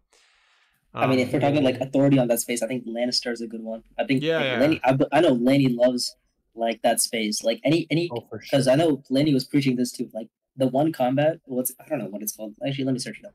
Um, but it's like uh on contract. it, Like it gets for winning, it's a mouse combat. Uh, if you win it, you get a contract, a water, and a trash.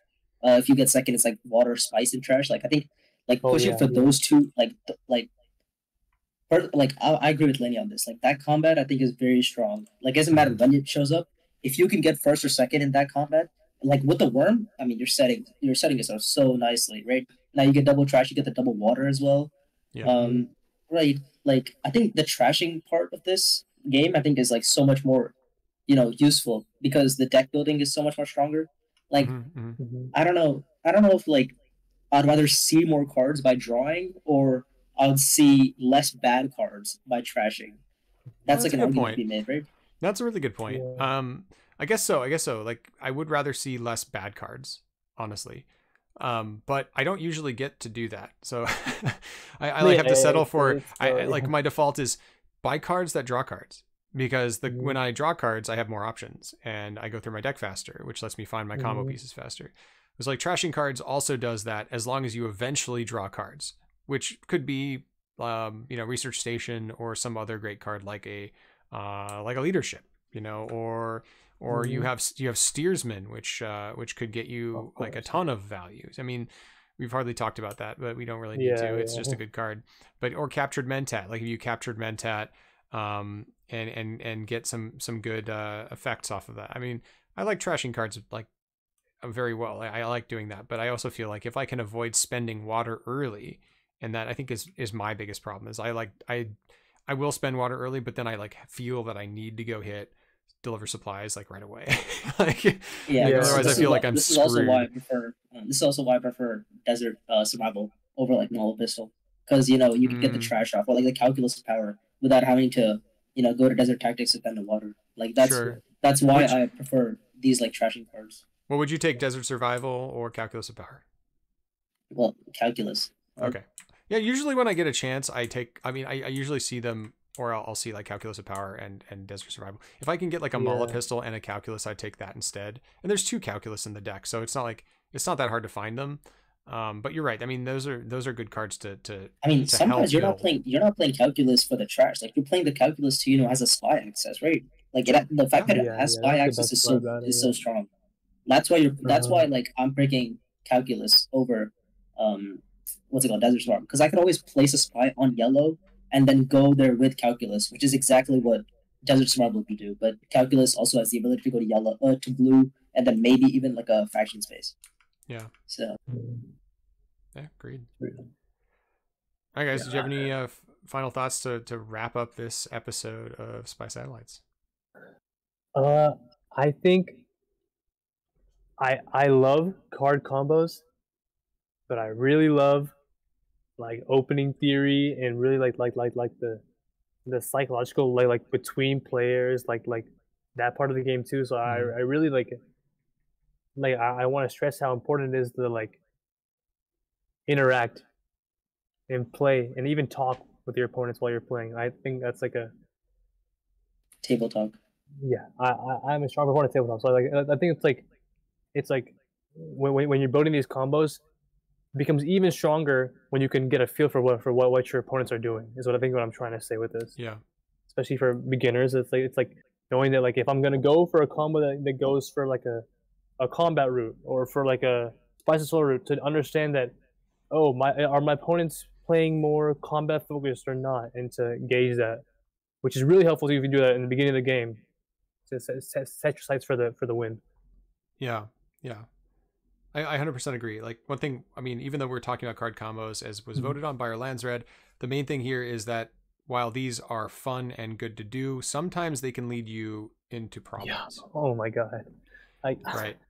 You can Like- try to do too much. You can you can get too many Fremen, and then you just have a bunch of like desert symbols and then nothing Yeah. else. Or Mhm. uh, you can get a bunch of um, uh, you know emperor cards and have very bad access for the rest of the game. Like there's there are Mhm. situations where you can get into trouble or you can get like spy cards and then have other people block you from the spy spaces you needed. There are lots of problems with going a just combo route. So go into this with that kind of in mind that if you see these core cards we're talking about, some of these like repeated cards, Calculus of Power, Bene Gesserit Operative, uh, maybe even Desert Survival or Maula Pistol, things like that, you can use those in your strategies and, and kind of like pick and choose as you go. Like, oh, maybe I'll just have a one or two card combo. Maybe I'll just get Unswerving Mhm. Loyalty and Maula Pistol, and then I'll just build good stuff. You know, so you don't have to go heavy into one particular Mhm. uh, tribal way or anything like that. You don't have to do that. And I think that that's just the best way to think about uprising. It's about yeah. pivoting, it's about reading the board, and it's about reading the other players. And and obviously, Mhm. table talking is very important in the situation, of course. But yeah, well, thank you for listening, everybody. Uh, you have been listening to Spy Satellites. I'm CJ. Thank you all, and we will see you on the next one. Take care.